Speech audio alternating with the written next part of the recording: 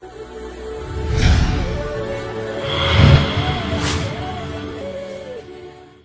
guys, it's BamDan UK here. Today we have the Zowie mousepad GCM uh, competitive gaming mousepad. This is actually the red edition mousepad. Okay, so let's pull it out of the box. This is the review of the mousepad. Been using it for a little while now. So as you can see, it's got Zowie plastered all across it. Now, some people may not like this, but I actually really like the Zowie logo itself, so it does look fantastic. So this is actually rubber based, so it doesn't really move too much. If, if you apply your pressure, if you're thinking you're gaming on it, you're going to be leaning on it anyway, so it's not going to go anywhere. Look, line proper force that, that's not moving.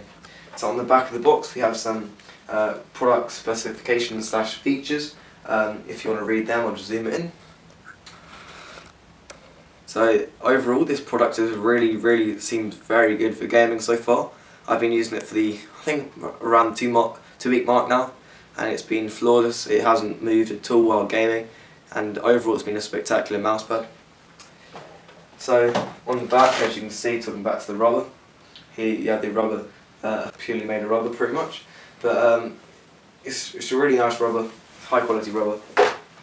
If you're pushing it against the table, look, as you can see, if you hear this very quietly, it actually does stick to the table slightly which is very good. This mouse pad is fully compatible with all mice, so I'll get my uh, mouse for example with. So here it's on my uh, mouse pad, and it's actually got a very nice texture to it at the top of the mouse pad, so it's moving very nicely and smoothly across the mouse pad. It has a nice gliding touch to it.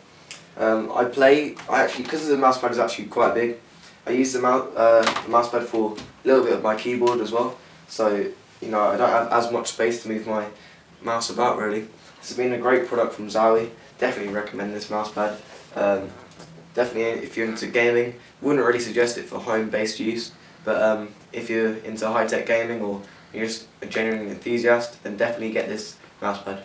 It's been BamDan UK, and I'm out.